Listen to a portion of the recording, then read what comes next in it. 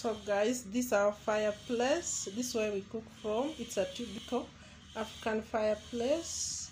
Uh, so guys as we go on to repair this one.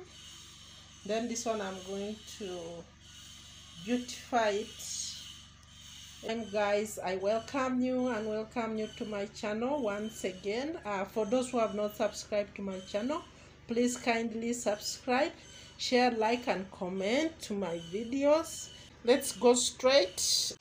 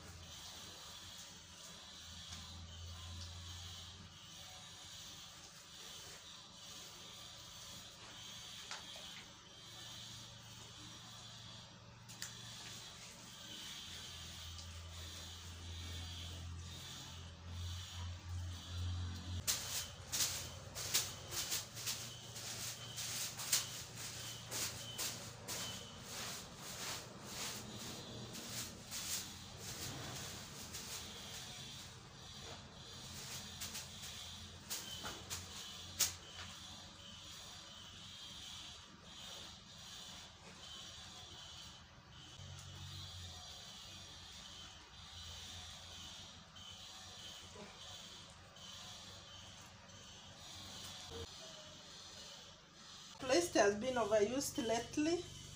So as you can see this for a big saucepan this is for a small one.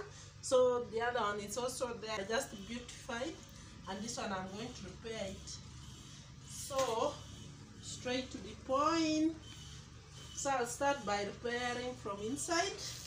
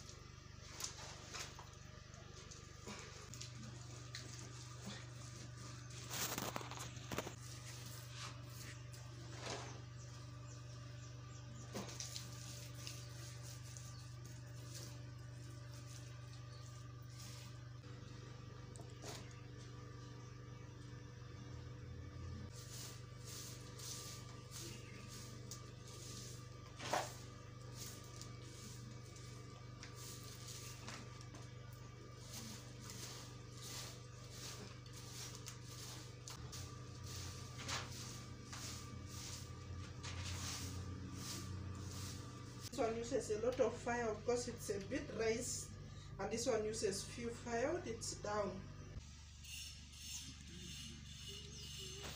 So guys, this is the type of vegetable we really enjoy.